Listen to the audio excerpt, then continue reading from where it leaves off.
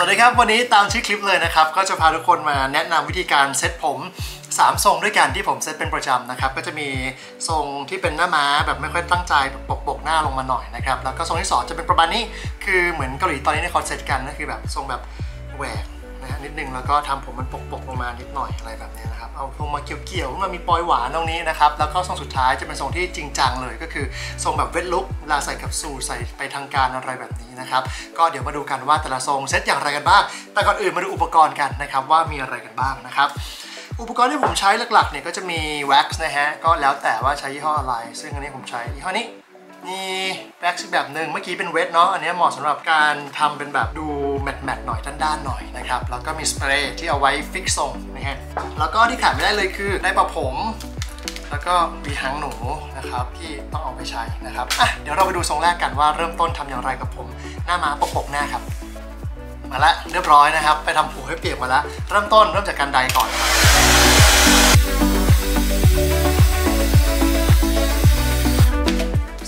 เนี่ยพอไดปุ๊บเนี่ยมันก็จะแบบ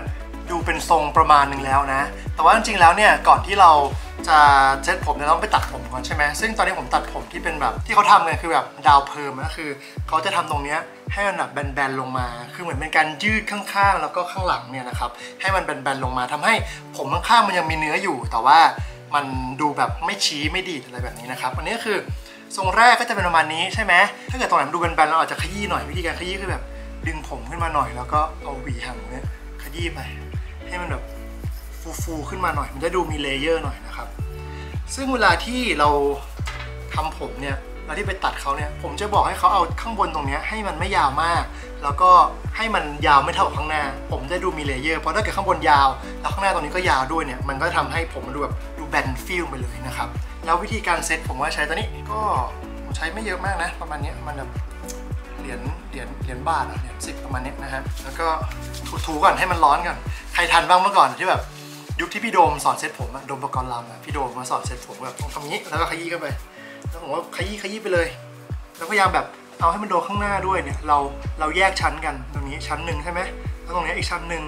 ก็แหวกขึ้นมาชั้นหนึ่งแล้วก็เอาแว็กเนี่ยแปะๆลงไปนะครับมันก็จะออกมาเป็น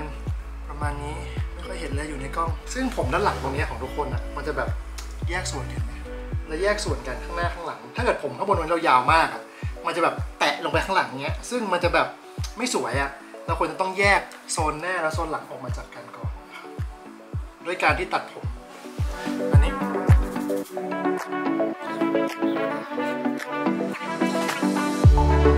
วันนี้นะครับ ด้านหน้าเนี่ยก็บอกเขาว่า อย่าตัดให้มัน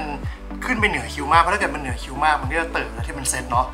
ก็อาจจะเลยคิ้วมานิดนึงวันนี้นะครับ ซึ่งอุปกรณ์อีกอย่างที่ต้องมีเลยคือนี่กระจกก็จะเห็นกันกระจกนะฮะซึ่งเราสามารถเอามาดูแบบข้างๆได้ว่าตอนนี้ข้างๆมันโอเคยังเนาะแล้วก็ปล่อยตรงเนี้ย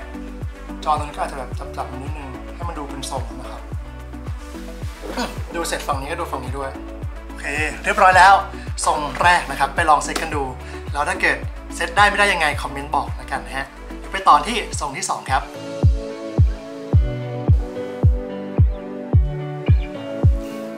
มาต่อที่ทรงที่2นะครับทรงแบบเกาหลีที่ตอนนี้เขาชอบทำหน่อยคือแบบมันจะแบบการแหวกข้างอะไรแบบนี้ตอนนี้ผมเปียกๆแล้วนะฮะซึ่งทรงนี้ก่อนอื่นเลยเราก็ต้องไดก่อนเหมือนกัน แต่ว่าการไดเราลองดูแสงของหัวเราเห็นปะ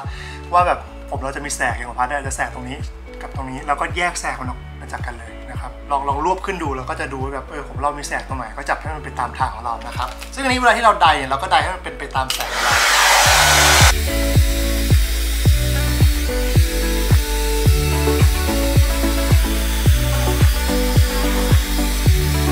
ซึ่งวิดิตทรงนี้เนี่ยเราต้องแบบไดให้มัน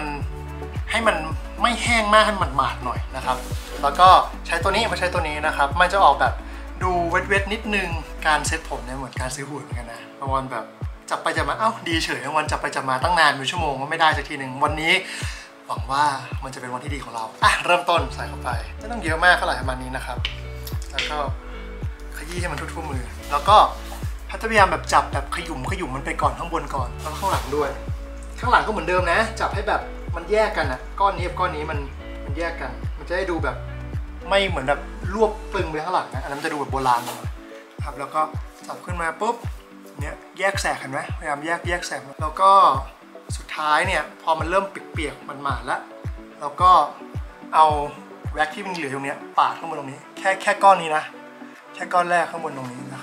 ให้มันแบบแล้วตรงนี้ไม่ต้องนะปาดแค่ตรงนี้ มันจะได้ดูแบบยกขึ้นมาแล้วแบบย้อยลงเงี้ยแล้วก็ข้างๆดึงลงดึงกันขยำขยำมันแบบนี้นะครับให้มันแยกแสงข้างหลังเนี่ยพยายามรวบๆหนึ่งก็ได้ดูเห็นไหมอย่างนี้รวบปุ๊บข้างหน้าก็ปุ๊บแบบนี้ดึงลงมาหน่อย หรือบางคนอยากอยากจะรวบไปข้างหลังอันนี้ก็ได้นะ ก็ทำได้เหมือนกันเห็นปะมันก็จะเป็นทรงประมาณนี้ อันนี้คือถ้าเกิดเราแบบเปิดหน้าขึ้นไปใช่ไหมก็จะเป็นประมาณนี้ ถ้าอยากให้มันเกาหลีเมื่อกี้ที่บอกคือก็ดึงลงมาแค่นี้ปึ๊บเนี่ยนะเอาเอาเอามือแบบอย่างเงี้ยแล้วก็ลากลงมาซึ่งอีกหนึ่งจุดที่อยากให้สังเกตคือบางทีแบบ ตรงเนี้ยพอทำปุ๊บเห็นปะมันมันจะแบบไม่ค่อยสวยมันจะแบบแยกกัน เราก็เอาไอวีหางหนูอันเนี้ยยกขึ้นมายกยกให้มันแบบเชื่อมกันอะแล้วก็เอาสเปรย์ลงสุดท้าย แต่ว่าวันนี้คงไม่ได้เอาสเปรย์ลงให้ดู เพราะว่าเดี๋ยวเราต้องไปทำลุคแบบที่เป็นเวทลุคอันหนึงนี่เอามานี่ ได้ปะพอได้ปะวันนี้นะครับ และนี่นะครับก็คือทรงที่2เดี๋ยวเราไปดูทรงสุดท้ายกันเวทลุคว่าจะเป็นยังไงนะครับและต้องทำยังไงกันบ้าง ไปดูเลยไอ้ลุคที่3นะครับก็จะเป็นผมแบบเปียกๆกันนี้ใช่ไหมพอเราแบบไปล้างผมมาแล้วก็ให้มันแบบเปียกๆแบบนี้ได้เลยนะครับ โดยที่เช็ดให้มันไม่ต้องหมาดเท่าทรงเมื่อกี้ นะครับแล้วเราก็เอาตัวเดิมตัวนี้ก็ได้หรือว่าใครอยากจะใช้โปรเมดก็ได้เหมือนกันคือถ้าเกิดโปรเมดเนี่ยมันก็จะดูแบบวินเทจกว่าแต่ผมชอบใช้ตัวนี้มากกว่า เพราะว่า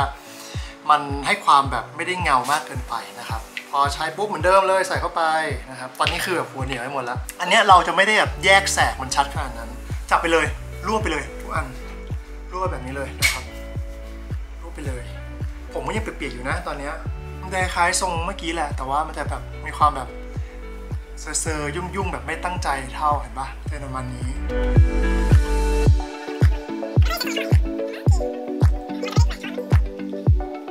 นะครับอันนี้เสร็จแล้วทรงนี้ง่ายที่สุดเลยนะก็จะเป็นแบบนี้มันก็แบบดูเปียกๆอยู่ แล้วหลังจากนั้นก็เอาสเปรย์ฉีดนะครับ แต่ว่าสเปรย์เนี่ยเวลาที่เราฉีดเนี่ยเราไม่ควรฉีดให้มันใกล้เกินไป หรือว่าพอฉีดเสร็จแล้วไม่ควรเอามือไปสางๆเพราะมันจะเกิดเป็นขุยขาวๆแบบคล้ายๆรังแคเนาะก็ถ้าเกิดอยากสางเนี่ยใช้เป็นตัวนี้ดีกว่านะครับใช้แบบหวีแบบ จับจับมันอะไรอย่างเงี้ย เพราะว่าตัวมือของเรามันจะมีความร้อน ก็อาจจะทำให้มันกลายเป็นขุยๆได้นะครับ อันนี้คือลุคที่ 3 ก็ประมาณนี้นะครับสำหรับ 3 ลุคที่นำมาฝากในวันนี้นะครับ ถ้าเกิดชอบก็ฝากคอมเมนต์หน่อยนะครับ กดไลค์กดแชร์ subscribe ไปด้วย แล้วเกิดอยากให้ทำลุคประมาณไหนทรงประมาณไหนอีกเนี่ยหรือว่าอยากจะให้มาพูดถึงเรื่องอะไรก็คอมเมนต์ไว้ด้านล่างนี้ได้เลยนะครับนี่บ๊ายบาย